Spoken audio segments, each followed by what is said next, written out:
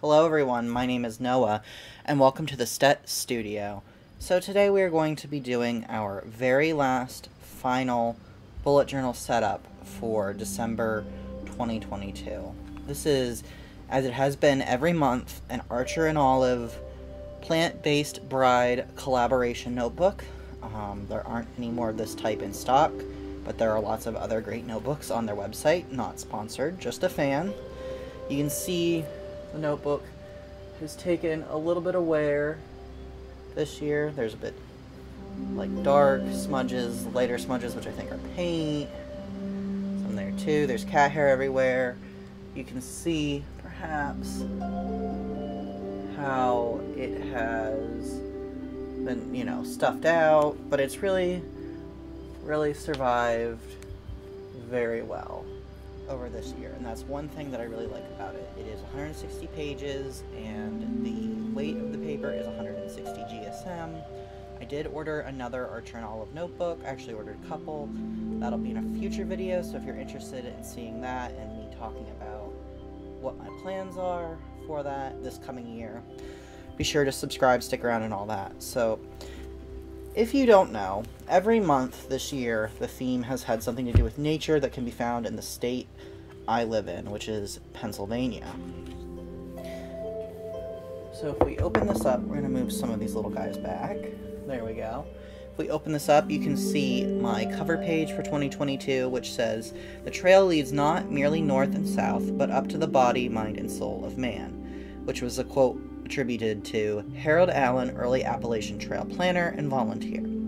So the secondary or overall theme for this bullet journal was that anything that didn't directly have to do with a month itself, so a more general collection or something, would be Appalachian Trail themed since I live in the part of the United States called Appalachia, and the Appalachian Trail runs through Pennsylvania. And I'm not going to go too deep into all of this, despite how sentimental I'm feeling right now, but I will talk about this. I'm going to do a full flip through video later in the year once December gets closer to being done, but I will show you everything and talk about it. But suffice it to say, if you're interested in any of the other themes that I've done in this journal this year, feel free. There's a whole playlist you can watch. Um, I've done a lot of great ones. So this is the January spread, and I just want to show you this because I'm going to kind of go back to the aesthetic, the vibe of this month Let's see if I can find a page that I can show you without having to blur too much. Okay, this is actually the first week of January, week one, and I want you to see the way the illustrations look this week.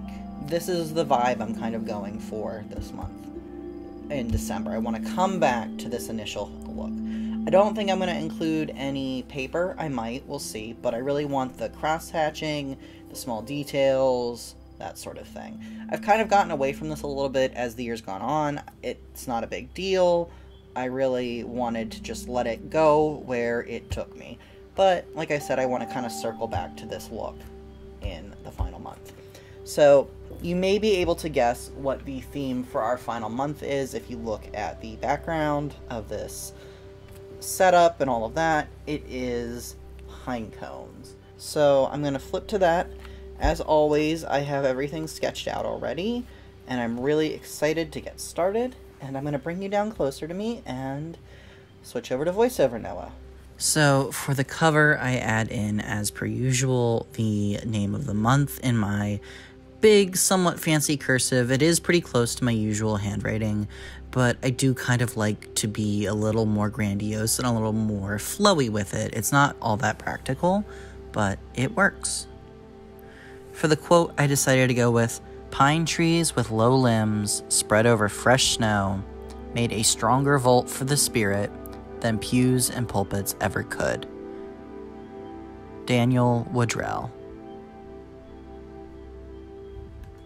And I wrote that in printed rather than in cursive, and I did spread it out so that every row is a little bit further apart, just so that it takes up a little more space and kind of makes it look more full. And I do think that I forgot Mr. Woodrell's um, name. I'll go back in and add that later, but looking at it, I think I did.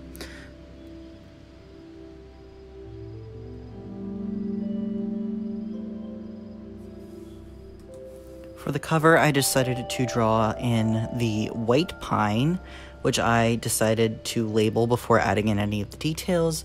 It is also known as the Pinus strobus, which is its scientific name.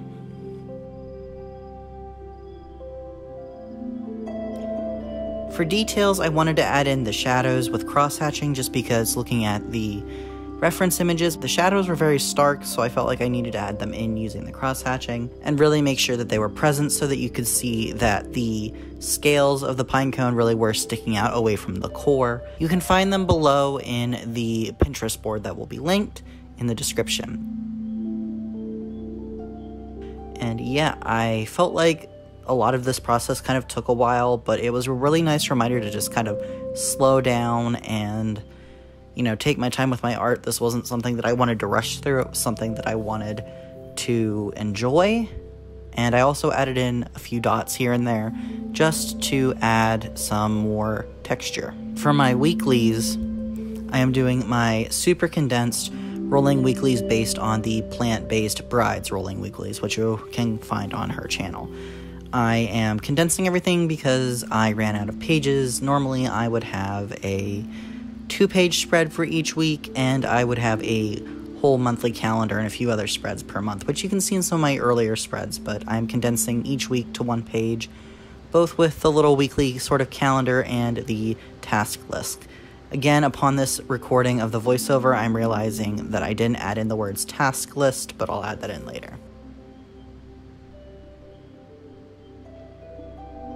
So for the first two weeks, I'm drawing just one pine cone, which you can see me doing here. This one's more of a squat pine cone with longer scales compared to the white pine. And this was kind of fun for me. I had to really focus on the individual pine cones and look at them and their shapes and see how they're different because a lot of times it can kind of be, well, it's a pine cone. They're all the same, you know, which isn't true.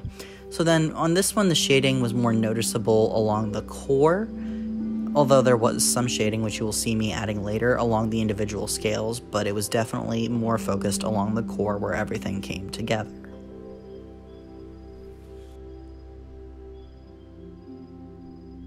And I used the same cross-hatching technique here, along with my OHTO graphic liners. If I didn't mention that before, that's what they are. I've used them all year long. I love them. They're my favorite pen for inking, and I really am very happy with how this turned out. Like I said, it was a bit of a slog, but it was it was a well-needed slog. I guess it wasn't a slog, it was a hike. It was a journey, and I needed to go on it and take my time and not try to rush through it.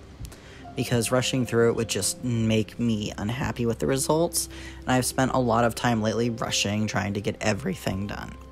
So, the name of this pine cone here is red pine, which is a Pinus resinosa, and yeah, like I said, I've been doing a lot of rushing lately. Um, I'm actually recording this voiceover while I'm traveling.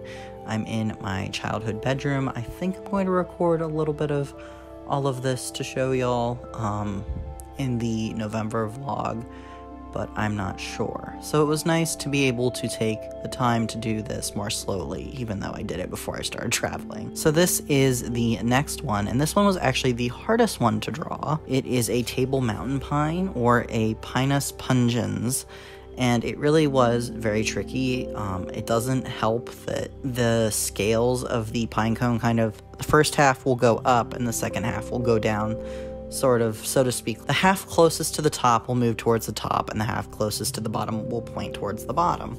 And it really made it kind of hard to draw, but I did eventually come up with a technique I was happy with.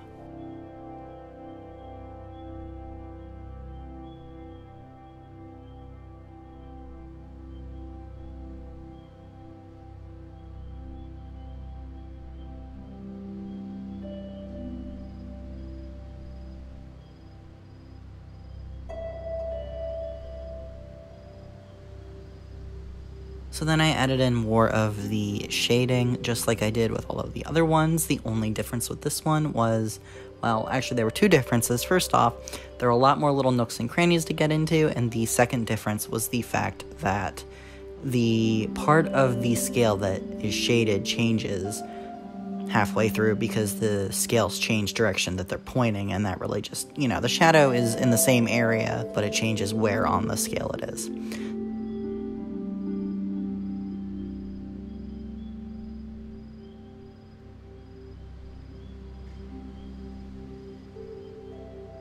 So here's the flip through. I really am quite happy with how it turned out. It's a simple set of spreads for this month, but I really do think that they look nice. Thank you all so, so much for watching. I would love if you would check out all of the spreads from this year, or if you would perhaps subscribe to see the journals that I've picked out for next year, as well as the final flip through of this journal for this year.